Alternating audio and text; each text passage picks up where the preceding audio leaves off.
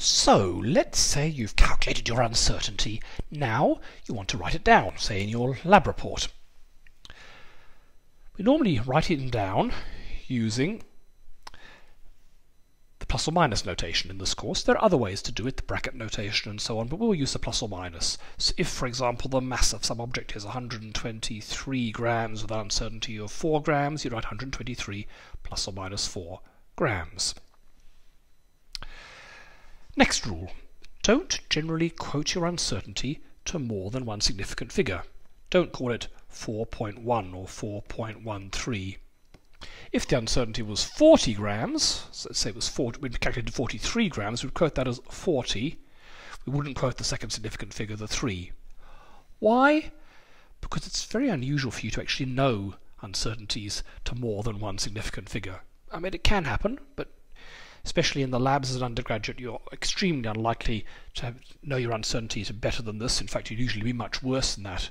Also, in real world situations, uncertainties are really hard to work out. There are usually many factors you haven't considered, and you're very lucky if you know the uncertainty to more than one significant figure. The only normally acceptable uh, exception is if the first digit starts with a 1. So let's say the uncertainty was 13 then you can quote the second digit, the 3 in this case. If it was 0.017, again you can quote the second, you have to round it to 0.02.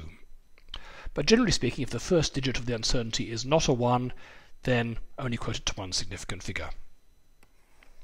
So that's the first rule. The second rule concerns the number of significant figures you need to quote. The bottom line is don't quote any significant figures after the first figure of the uncertainty.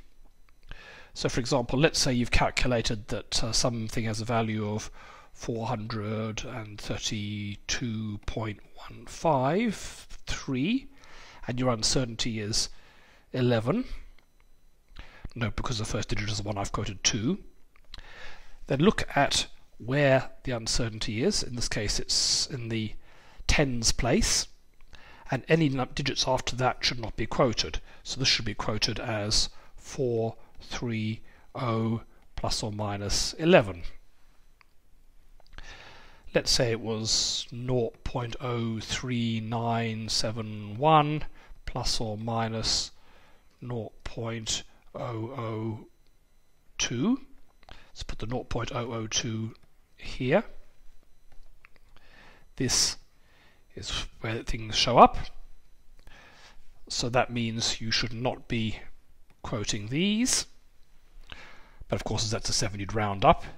So this will come out as 0.040 plus or minus 0.002.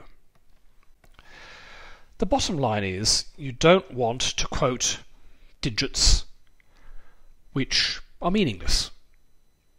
You're wasting your own time in quoting them, and also you might mislead the reader, who might think that those digits that you've so laboriously written down actually mean something.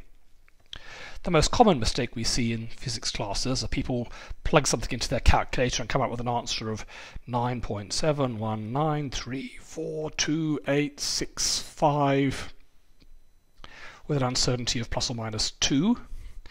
That should be 10 plus or minus 2 because all these digits are meaningless. They don't mean anything. But someone might look at that and say, oh, I wonder if it's a 5 or a 6, and actually take it at its face value. You're misleading your viewers. Now, people get very hung up about this. Oh, I'm going to be marked down because I've lost a, an extra significant figure or something else. Don't worry about it. If you're out by a significant figure or two, we don't care in this course. We do care if you're out by about 15 significant figures or more than two or three. One or two I'm not too fussed about. Uh, it's not going to mislead anyone very badly, so don't obsess about it. But don't put ridiculous numbers down.